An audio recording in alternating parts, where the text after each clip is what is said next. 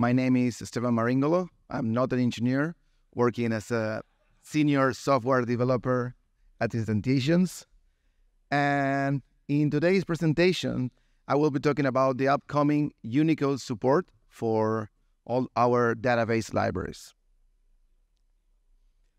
As part of the agenda, I will go over some topics that are more conceptual or fundamental to understand what we did, and they are related to databases in general, and others that are VAST specific um, related to our database libraries and Unicode support. And for those that are new to how we implemented Unicode support in in VAST, we'll also we'll do a quick recap on on the basic concepts. And of course, at the end, we'll we'll have time for questions and we'll show you the next steps. So let's move on to some of the conceptual parts of this talk, at least the, the things you have to understand before to understand what we did with the databases. And the first thing to understand are the code pages. And to do that, we must know what is a code page. And the simple explanation for that is that it is how we dealt with international strings before Unicode was a thing, basically. And actually, it is still how we deal with international strings when you don't have Unicode support. At the implementation level, it just consists of on a table mapping codes, meaning bytes, uh, to some different characters that are going to be displayed on strings, on a stream, I mean. And there are some regions in that table that actually are similar between different code pages and others that are completely different. That is actually the purpose of its existence. And for the sake of simplicity, I'm just referring to Western single byte code pages. I know they are double byte or variable length code pages and encodings. And and here, sorry, I was clicking there. As I was saying, they have different, you can use the same byte to different characters. The code page must be known in advance. Otherwise, you will start getting those wonky characters in, in your screen, which is very common in the, or was common in the early days of email. And one of the limitations here is you have uh, basically a limited set of characters that you can display with a single code page. Here we have one of the most well-known uh, code pages, the Latin 1 code page. You can see that you have, well, uh, the first seven bits are common between others. Here, I don't know if you, if you are able to tell, but if I switch, for instance, to the Greek code page, you can see that uh, beyond a range, you, you see different characters. And then we have the Windows 1252 uh, code page, which is like the, the most common used code page in Windows uh, in the Western world, but which actually uses some some characters that are not available in the other in the other code pages. Fortunately, Unicode was designed to be better, uh, with a proper separation of concerns, decoupling the coded characters from how that is represented uh, as bytes at bytes by means of an encoding. Uh, usually using one of the available UTF encodings, and UTF-8 is like the most well-known uh, one because it's very efficient when it, when it comes to encoding ASCII characters or characters that are in the ASCII range, which is like uh, in in web and many other platforms, actually in Latin languages as well, like the the majority of the characters. So now we made a clear distinction on what is a code page and how Unicode encoding works. Basically, a code page, in, in most cases, the code page and encoding was kind of the same thing. Unicode separates that, it specifies what is a character and how it is, is going to be encoded. So let's see, or let me, let's make a quick recap on how we support Unicode in VAST. So given VAST's long history, we've been dealing with code page dependent strings for a long time. And with our support for Unicode, we removed the limitations associated with uh, working with code pages and introduced new abstractions to that simplifies the use of Unicode while provi providing better ergonomics for the developers. So I will show you basically a comparative table here. We have a classical string that works uh, as a bytes container. So let's say you have a, a string that contains a character and the character has some value. Well, that value will be displayed differently if you have the right code page configured or if you have a wrong code page configured. This, the, the string is composed, as, as we know, as characters, and the, the, the values are also code page dependent. On the Unicode side, we have uh, the newly introduced Unicode string class, which is a collection of graphemes. I will mention what is a grapheme later. That is mutable, so basically it, it grows in the same, very same way as a Ordered collection does. And its internal storage is always validated UTF-8. Then we have the grapheme, which is the user perceived character, basically what the users see on, on the screen. And it can be composed, or it is actually composed uh, by one or more Unicode scalars. And what is a Unicode scalar? Well, it's actually what you will find um, in the Unicode database, basically the Unicode table that represents a Unicode code point. And borrowing this slide from a prior presentation, we can visually see what, what each of the Unicode abstraction means. As you can see here from top down, you, we have different scalars that can be composed into graphemes. Uh, the graphemes is what other languages call grapheme clusters. And then when we collect those together, we get what is a Unicode string. So basically, a Unicode string has like three level, three uh, levels of compositions, like this Unicode string, the graphemes, and the scalars. I, it's worth mentioning that there are only a few programming languages that support what is considered the grapheme cluster. We took inspiration from Rust and Swift that are like the best implementations available. And actually, our implementation is based on, on Rust primitives, and we added all the ergonomics to make it feel more like like we like as Smalltalk developers. And of course, in the same image, you can have um, and you will likely have both types of string coexisting.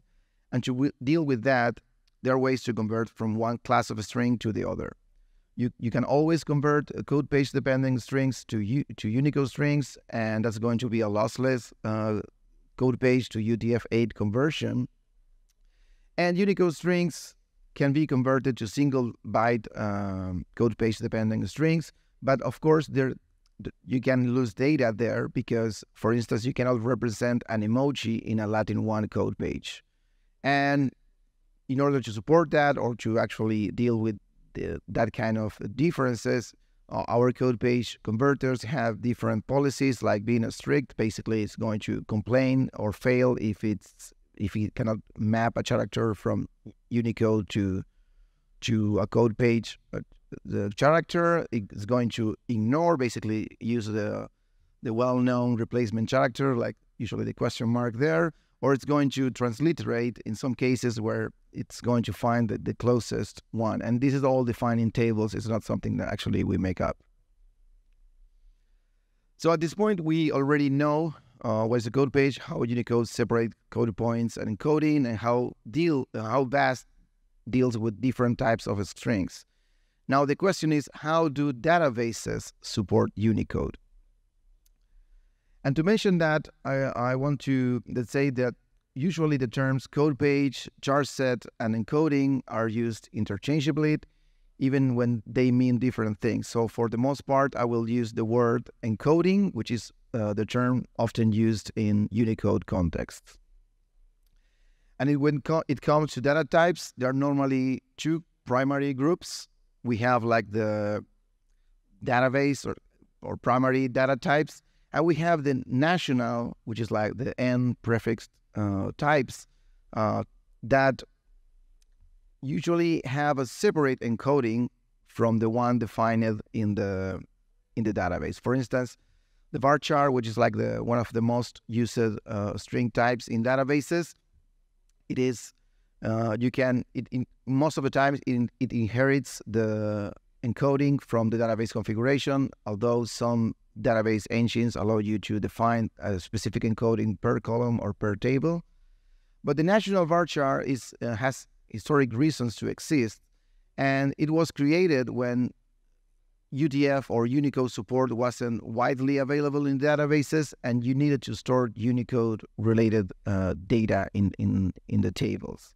So for that, the the chosen encoding was to use UTF-16. So it's very common to have that in all the in all the databases, but not all the databases support the national varchars. For instance, let's say uh, Postgres doesn't support it. Um, some other platforms, what they do is they alias uh, this type to the regular varchar type, and they store it in the, in the encoding of their preference. And the database is going to do all the conversions for you. And speaking of database and connections, it is uh, the database driver what usually does all the heavy lifting of mapping what's the encoding the encoding uh, used uh, with the data at rest to what the client wants to get. So, for instance, um, is you can have the server using, let's say, a Latin one or uh, our server database using UTF-8 and the client is going to be a Latin 15 one, and all the conversion can happen on the server. Some engines will do the conversion on the server side and send the, the bytes already uh, converted for the target code page, or some of that is done by the driver locally. So you receive UTF-8 from the server, and the client driver is going to do the conversion on the client side. And of course, it, it, this goes both ways. When you read, it's going it's coming from the server, and when you and when you write something to the database, it's going to be converted as well. So we start to see now we have like the code pages, Unicode. We see like uh, different data types. Now we have to because this is about our integration of Unicode into our database libraries. So we need to at least understand what are the main abstractions in the database libraries of VAST. And from top to bottom, we have uh, the DBM system that is uh, basically a utility class that helps with defining globals and some defaults, and of course coordinates what are the managers. That is, there's one manager class per platform. So have, we have one for, for Postgres, ODBC, Oracle, etc. The manager is the the class that actually creates and deals with connection reuse or shutdown or stop or startup of the whole platform, uh, libraries, etc. We have the database connection that well, it's like it's like the most used thing in other systems that deals with transaction management, preparing statements, executing them, etc. And then we have the the cursors or the database rows that deal with iteration or results and are actually abstractions over the rows.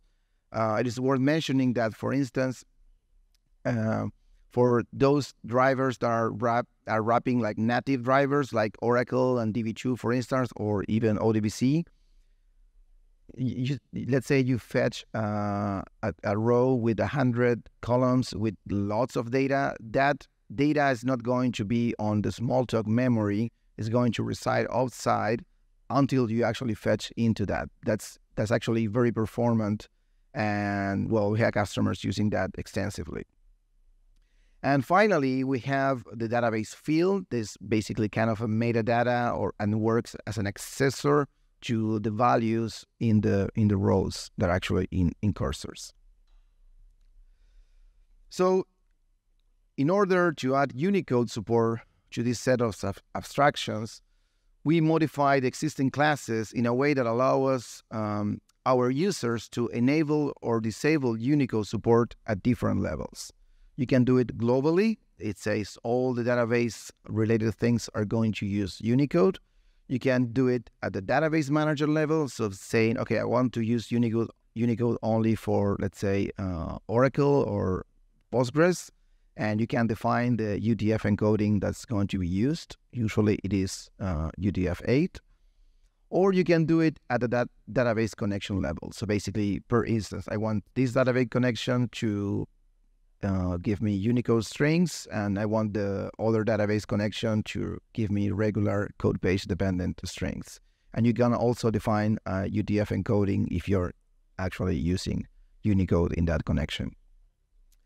And then the the cursor and the row is actually what is going to inject all that data, in particular the UTF encoding, into into what's the database field that is going to be the accessor, as I said, that's going to read or write the Unicode strings uh, to or from bytes. So given what I showed you before, you should be good to go. So basically, we did everything in a way that is going to be easy to use. It's just enabling that. But some database platforms have minor requirements uh, to enable Unicode. For instance, Oracle normally doesn't enable UTF-8 by default. It's something that you have to, to do on the client driver.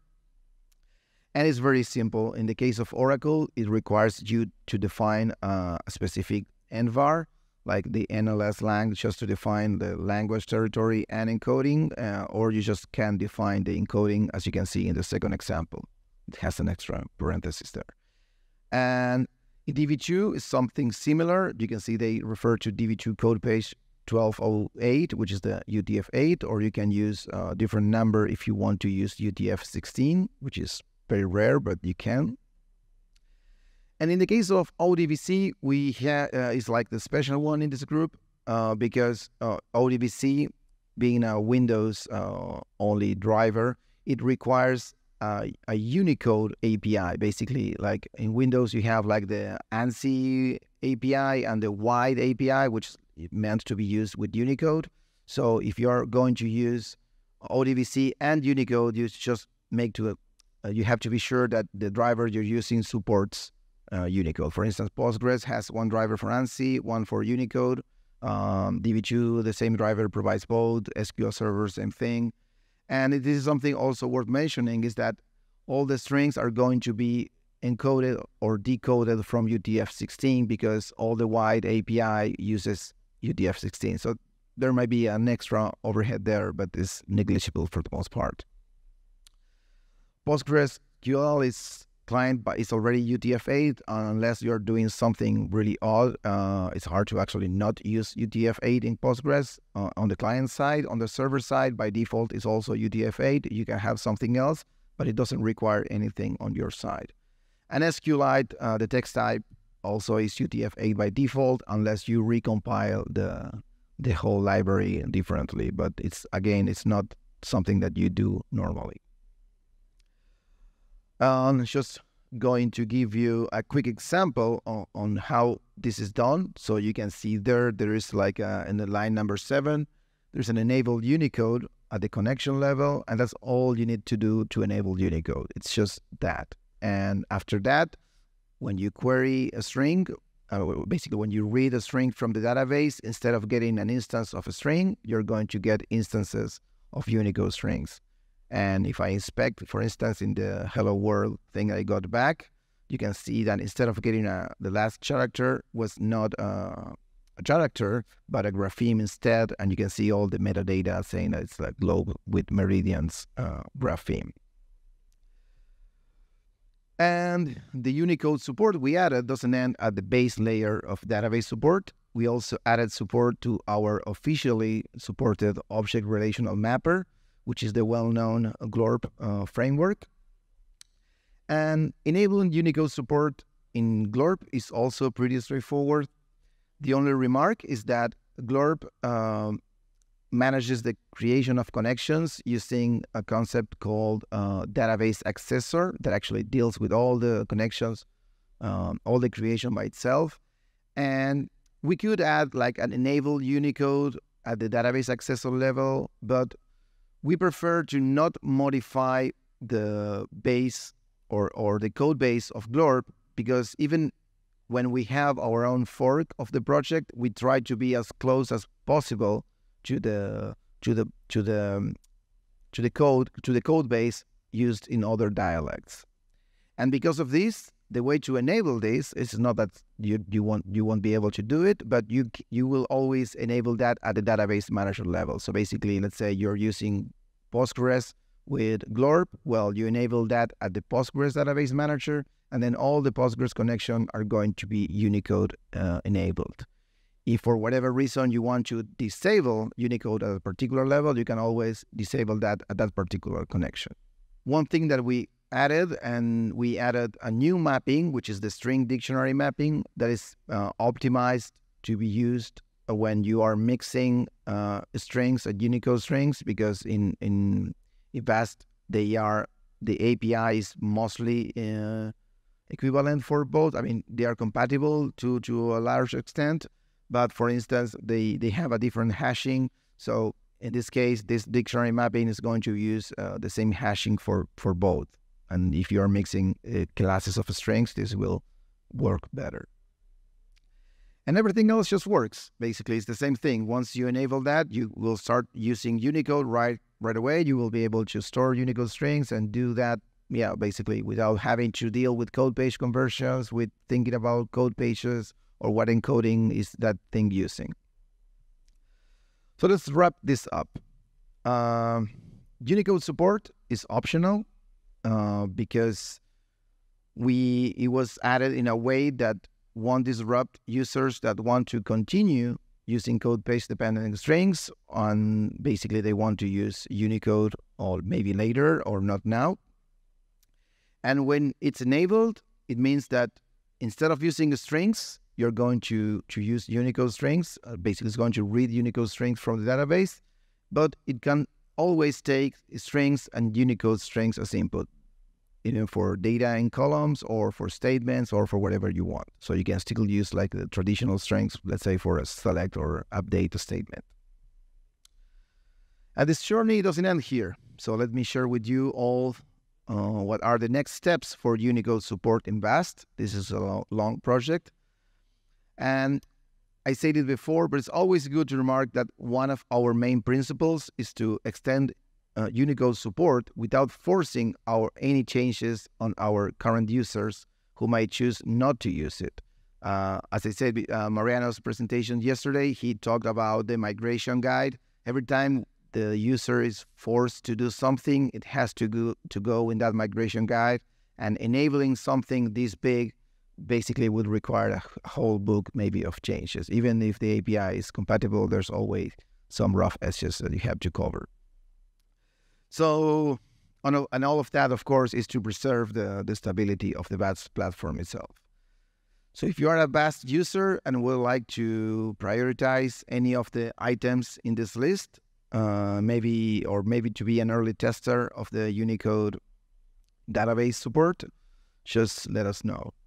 And if you have any questions about anything I presented today, I think that now is the moment to ask them.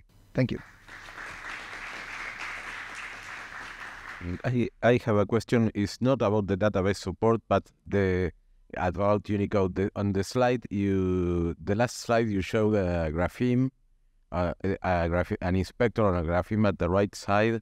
It's oh. a, a code. Yeah what is the code for a grapheme if it can be made of a sequence of uh, Unicode scalars? Yes, and actually you can see grapheme. It has actually kind of an, a collection inspector, and you see one there. That's the first element. That's actually an scalar. Okay, I so I, I, can show you live if well Thank later. But yes, that's actually uh, in this case it's just a single scalar, which is the emoji. But it could be like uh, I don't know non-visual scalars. I, I get it. Thank you. Hi, this is Yoshiki. And so I did um, multilingualization for Squeak and have some curious about what you did here. And the one question is that let's say I want to make um, like a Japanese Chinese dictionary application that requires you to display uh, characters differently, even though they may have the same code point in a in single text field, perhaps. Can you do that? Well, that's one of the limitation of. I mean, if you're talking about not Unicode but code page dependent. No, no, no. Unicode, but Han unification in the, introduced this idea that even the Unicode code point, same code point, has to know which basically font to agree to use. Well, what the the, the Unicode uh, specification doesn't actually say anything about how you display that. So if you have a one code point, it doesn't say anything about the font you use. So we assume you have a font that's going to be able to display that particular code. Yeah, right? so it's easy if there's no mix of those in one string object. But let's say you want to have one kind of Unicode string of some kind, but you do want to display it um, with different uh, font associated in different parts of the same string. uh, that would be like a UI widget thing. I mean, I can show you in our workspace. I, we, we can test that later on the workspace because in in last year's Smalltalk presentation, I, I gave actually our Unicode implementation even uh, deals with directionality. So actually, when you try to access the last element, it's going to be the one that you're expecting to be the last, and not the one that is actually displayed as the last one. So we, we can test that later on the workspace. But yes, I mean, I on the I used in um an example last year, I, I mixed, I think it was Chinese and Hebrew. Basically, you you you you you you, could get both characters in the same string and just navigate them. Actually, yeah, that's an easier case, but actually doing that for Japanese and Chinese is harder. Okay, we, we we can test later because that's that, that will be a good proof. Thank you.